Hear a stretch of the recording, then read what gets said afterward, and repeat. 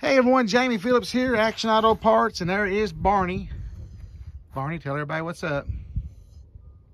All right, I think they appreciate that. On a sunny day, we had actually a lot of rain last night that turned into a little bit of snow, but where the ground was so wet and warm, it didn't really last very long. You can kind of see some little ice crystals and stuff on the ground that the sun's not hit yet. Uh, I got a I've called this guy. Peg pulled this gas tank yesterday.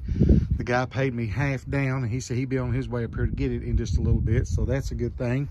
Uh, yeah, look here, there's some snow. A little bit on the Durango bumper. But, uh, but me and Barney come up on top of the hill. We had a guy uh, asking about a couple parts.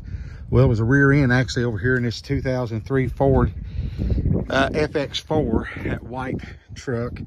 So I ran the uh, the axle code and it is in fact the one that he's needing. So hopefully that'll materialize into a good sale.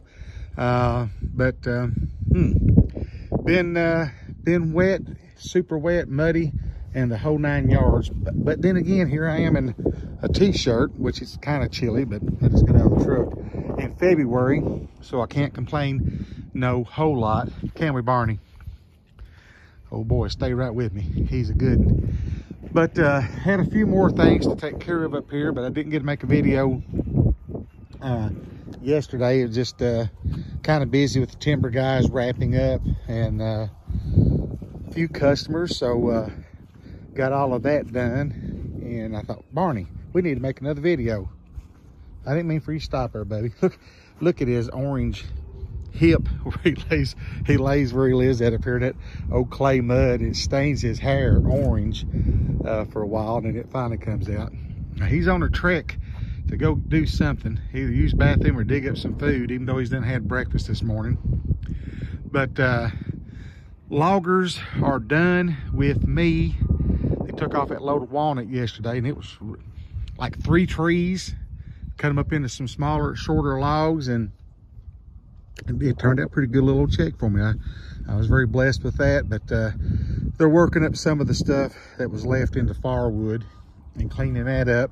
And then if it'll dry up enough, then he's going to have to redo the lot down there once he gets all of his equipment moved. Just kind of knock the humps down. And then, like I said, once that's dry, we're going to start filling that back up with cars on that bottom lot because they're kind of easy to get to.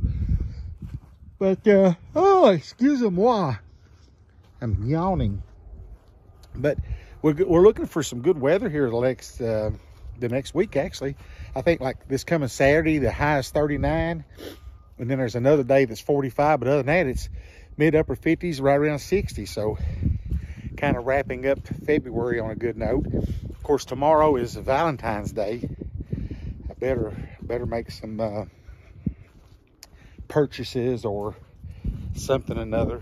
Uh, today and not wait for the last minute, which I guess today is almost to the last minute. But I want to get back in the truck. Uh, Peg and Felicia's way over on top of that other hill where we've been cutting down all those cedar trees and uh, trying to uh, to get that stuff cleaned up.